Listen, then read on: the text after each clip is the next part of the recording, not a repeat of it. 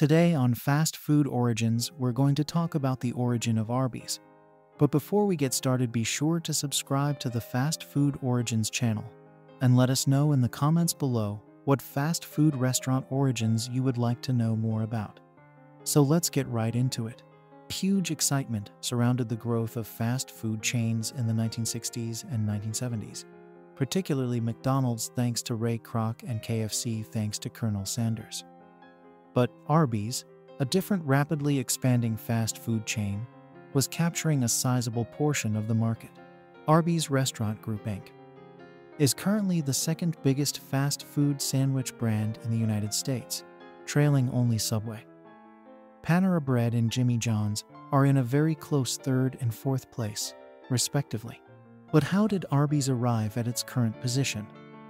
How did the idea get started and develop into the second biggest sandwich chain for fast food in ES?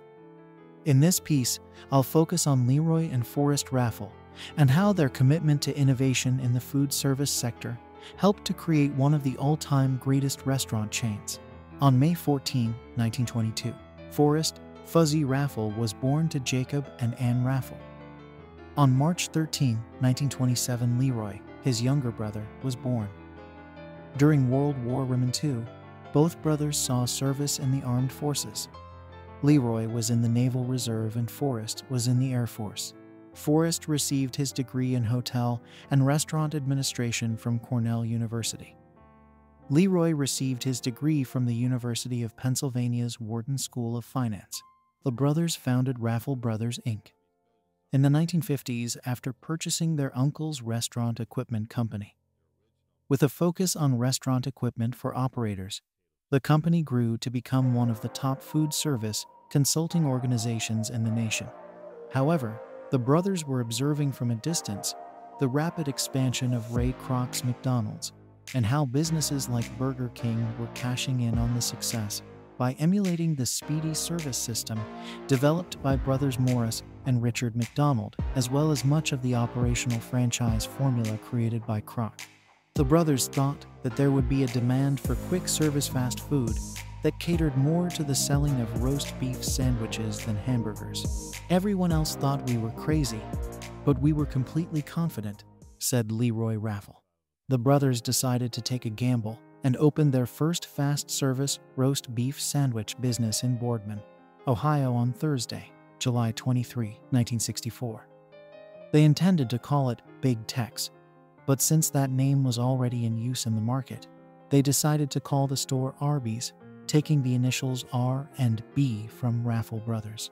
Arby's sought to establish itself as a fast service restaurant of a higher caliber by charging 69 cents for their roast beef sandwiches, whereas McDonald's offered hamburgers for approximately 15 cents. After the first store proved to be successful, the Raffel brothers started growing quickly and by the late 1960s, they had over 300 outlets spread over almost 40 states. However, the rapid expansion necessitated a large working capital investment. The brothers used equity capital and bank loans to assist fund their expansion in the late 1960s. But those funding sources were insufficient to maintain both their existing operational levels and their future expansion goals. Thus, in 1970, the brothers attempted to go public with their organization through an IPO.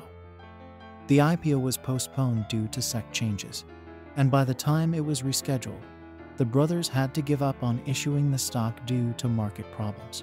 Due to their lack of working capital, the brothers became behind on their financial commitments and other business related expenses. When problems arose with franchise and financial partners, a Chapter 11 bankruptcy file was finished in late 1970.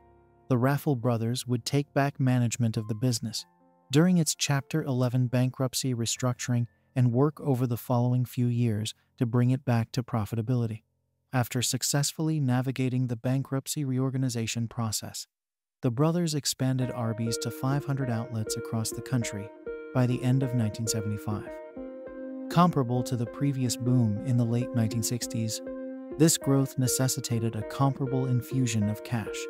However, rather than attempting another IPO, The brothers agreed into an arrangement with RC Cola in 1976, selling Arby's for 18 million, about 80 million in 2017 dollars owing to inflation.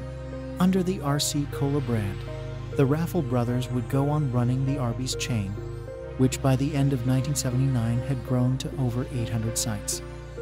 The Raffel brothers, who were multimillionaires, made the decision to leave the food service business at the end of 1979 and stop running Arby's, despite going through several different management structures, including briefly having Wendy's as a partial owner.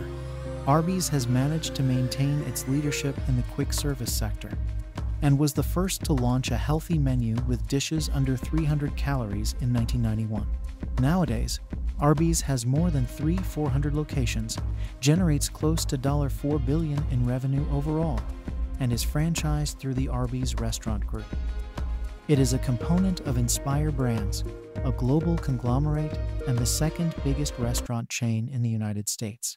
America is familiar with the Arby's iconic roast beef sandwich because it has been one of the most well liked fast food staples for more than 50 years.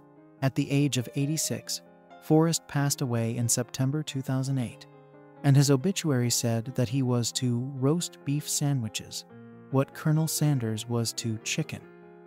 Raffel, one of Arby's co founders, passed away in 2023 at the age of 96. They leave behind a well known franchise that is currently a part of one of the biggest US restaurant chains with a significant international footprint. In order to succeed in business, an entrepreneur needs to possess two qualities persistence and self belief, which are both demonstrated in the narrative of the Raffel brothers. In the early 1960s, when the brothers were considering launching their roast beef sandwich concept into the fast service industry, everyone essentially labeled them insane. Nevertheless, they had faith in their abilities, took a risk, and quickly achieved widespread success. Then, in the early 1970s, after the IPO went bust, filing for bankruptcy, and losing a number of significant bankers, investors, and franchisees, everyone assumed they were done. However, the brothers persevered and fought back, bringing Arby's to its highest point ever and retiring as millionaires in the process. A strong belief system, vision, perseverance, and the capacity to overcome failures are necessary for success in the commercial world. It is my wish that the tale of the Raffel brothers may encourage you to pursue your dreams and to cling to them during difficult times. For more fast food restaurant origins, hit the like button, subscribe, and hit the bell to be notified when new content is uploaded.